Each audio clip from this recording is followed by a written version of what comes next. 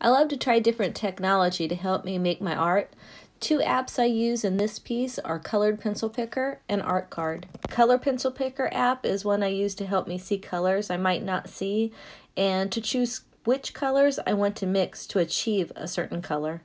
In this app, you can select your own reference photo from your album, pick a portion in the photo, and the app will automatically suggest which colors to use and the ratio to mix. The pencils it covers are Luminance, Pablo, Supracolor, Prismacolor, Faber-Castell Classic, Polychromos, and Derwent Artist. Here you can see they've picked Prismacolor 150 set. In the black box it shows you that they used beige, blush pink, and deco yellow to achieve the skin tone in the targeted area. It gives you the color of the target area in the upper right and the mix ratio below. Here it indicates one layer of beige, two layers of blush pink, and one layer of deco yellow. For a beginning colored pencil artist, this can take some mystery out of the magic what color should I use thought. You'll quickly find you'll learn much faster by just experimenting with colors. It's not a paint by number after all. As an experienced artist, this app can be used to confirm your color choices or give you a jumping off point.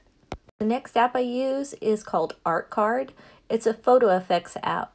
Again, just load your reference photo into the app and choose an effect. Why would you want to use an effect app? As a colored pencil artist, I'm usually very tight in my art. This app allows me to loosen up because I can't see any of the details. My favorite effect is called oil painting. It gives me that loose, realistic, abstract feel I'm looking for. This is an example of my art card manipulated reference in the Colored Pencil Picker app and my color choices for the targeted area. I primarily use Prismacolor pencils and I'm familiar with their color names, but in this piece I'm using Caran d'Ache Neo Color 1 wax pastels. Logically, you would think you'd use the Caran d'Ache setting in the Color Pencil Picker app, but I chose to use the Prismacolor setting I could easily use the colors that they were telling me in the app and translate them to an approximate color in the Neo Color ones. I was asked to do a large contemporary piece for a gallery, so I chose to use my Icarus board to make quicker work of it. To learn more about the Icarus board, you can go to my channel and view Icarus board drawing, red ornament, and tips on using an Icarus board, orange ornament. This is done on a 19.5 by 27.5 Art Spectrum pastel paper. I believe the color was ivory.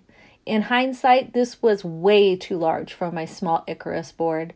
The hot spot on the Icarus board is small, so when it came to melting the wax, I continually had to shift my paper to the hot location and assure I didn't ding the paper up on any surrounding items that I had attached to my drafting table.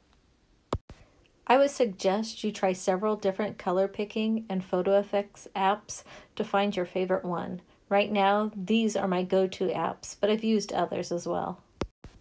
Let me know what art technology you'd like to see me try.